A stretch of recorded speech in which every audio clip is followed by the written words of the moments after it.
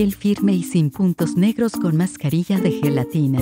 Luce 1 piel suave, firme y sin puntos negros. Seguramente esto no llama demasiado tu atención, pero sí lo hará los usos que en esta ocasión te acerco para conseguir una piel firme y sin puntos negros. Te estoy hablando de la mascarilla de gelatina. Así es amigos, hoy aprenderemos cómo elaborar esta buena mascarilla. Una de las mejores te lo recomiendo, ya que te deja la piel suave, firme y sin puntos negros. Empecemos entonces con su fórmula y preparación. ¿Sabes para qué se utiliza la gelatina en tratamientos de belleza y salud de la piel? Para eliminar puntos negros. Es ideal para pieles grasas, para suavizar la piel y devolver elasticidad y firmeza al cutis ya que aporta colágeno a nuestra piel. Hoy te mostraré cómo se preparan dos mascarillas altamente efectivas con gelatina.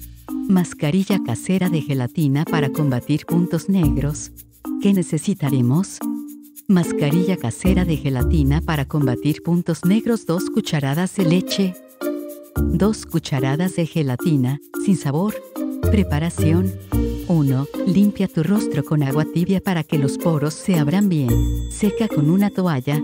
2. Con ayuda de una esponja vegetal exfolia suavemente tu piel por 5 minutos. 3. Mezcla ambos ingredientes dentro de un recipiente hasta que se forme una pasta.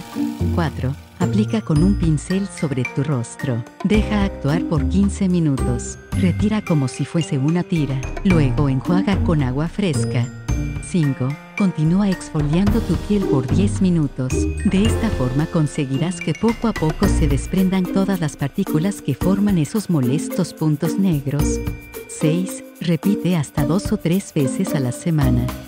Mascarilla casera de gelatina para suavizar y reafirmar la piel. Ingredientes. Clara de un huevo.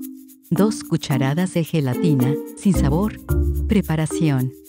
1. Mezcla los ingredientes dentro de un recipiente y revuelve bien.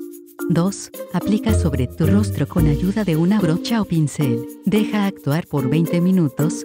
3. Retira con cuidado y luego enjuaga con agua. No olvides aplicar crema hidratante.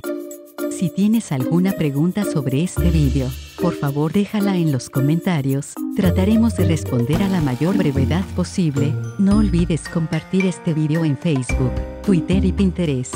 Hasta pronto.